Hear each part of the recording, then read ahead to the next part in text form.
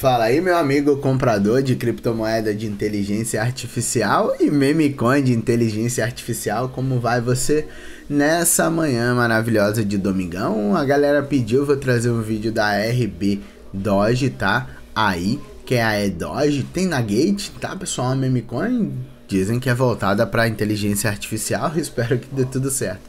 Ela tá valendo 0,000 esse monte de 03818, tá? Lá no final. Ranking 550 são 71 milhões de dólares de capitalização de mercado, 8 milhões de volume nas últimas 24 horas. Esse supply ad infinito aí é tanta Doge que eu nem sei falar.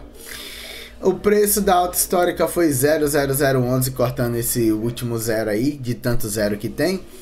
Subiu aí 143% nos últimos 200 dias, 172% nos últimos 200 dias, 143% no último ano. Para você que gosta de meme coin que ainda não explodiu na alta e tem a possibilidade de explodir, essa é uma delas, tá? Porém, a tendência aqui é baixista porque está fazendo um pivô de baixa no gráfico semanal e nós vamos conversar sobre tudo isso aqui no meu humilde canal. Espero que você goste, deixe o like, compartilhe esse vídeo, se inscreva no canal, torne-se membro do canal para ajudar o Romário, faça uma doação, faça o que você quiser, mas pelo menos o like você tem que deixar. Pessoal, a gente viu que em fractais de tendência de alta pelo gráfico semanal, tá? Ela vinha fazendo topos e fundos ascendentes. Se você pegar aí o preço dentro do gráfico, deixa eu só ajustar para cima aqui, só para a gente poder é, trabalhar da forma mais correta para não atrapalhar o gráfico. Puxei ele aqui para cima, ela vinha em fractais de topos e fundos ascendentes. Topo duplo veio, travou uma batalha lateral, explodiu na alta, tá? Foi interessante essa explosão de alta. Fez um pullback e aí tentou subir fez outro fundo, tentou subir e agora está vindo para perder fundo. Provavelmente vem testar essa região dos 25,10, que é a mesma região de topo aqui, onde ela lateralizou. Então, meus amigos, o que, que a gente tem aqui? Uma quebra de padrão de alta. Nada além disso, com topo mais baixo com topo anterior.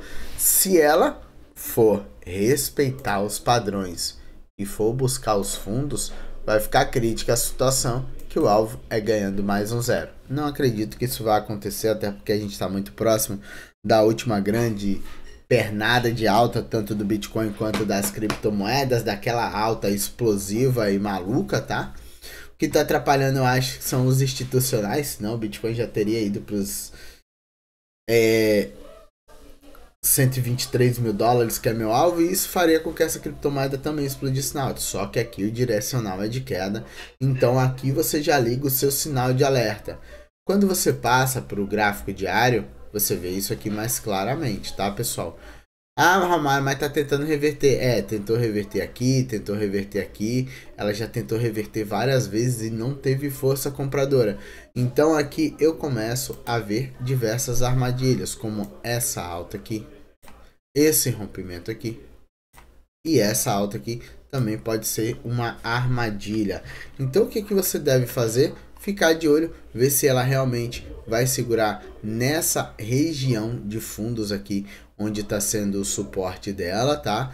Se ela perder essa região, vai perder a média de 200 também, aí vai ficar mais crítico. O que você tem que ver é ela andando lateral nesse fundo aqui, ó. E aí, se ela começar a passar as médias móveis, aí sim ela vem para uma nova tendência de alta. Fora isso, há uma possibilidade de reteste desses topos aqui embaixo e também reteste dos suportes. Eu ficaria de olho, não entraria muito afobado aqui, até porque a banda de Bollinger está em expansão de queda, você tem a nuvem de Shimoku negativa, então você tem dois indicadores empurrando para queda, você tem as médias móveis todas virando para baixo, se cruzando para queda, você tem MACD estocástico RSI Vortex virado para queda. Cara, não briga com o mercado, tenta achar o melhor ponto possível. Ah, Romário, eu tô fazendo DCA, preço médio, é para longo prazo. Aí é outra história. Aí você vai se preparando aonde? Nos suportes. Se você acredita que a criptomoeda tem tudo ainda para estourar, aqui é um bom ponto. Aqui é um bom ponto. Se você buscar aqui os pontos, aqui essa região aqui, ó, é um ponto interessante do 17 que teve topos. Essa região de fundos aqui é um fundo interessante dos 11 e aí os últimos fundos lá embaixo são as regiões que você fraciona seu capital para poder fazer a melhor compra possível, até porque ninguém é mãe de Ná, ninguém aí é o Walter Mercado para acertar o futuro, a gente faz análise para diminuir os riscos. Então, a gente vai fazendo as compras fracionadas até você achar que o preço vai voltar a subir e for realização, sua realização de lucro for satisfatória. Eu sou Raumara Criptomoedas, se você gosta do meu conteúdo, aproveita, deixa o like e torne-se inscrito do canal. Lembrando que nada que eu falo aqui é recomendação de compra ou de venda. Aquele abraço para todos vocês, até a próxima e fui.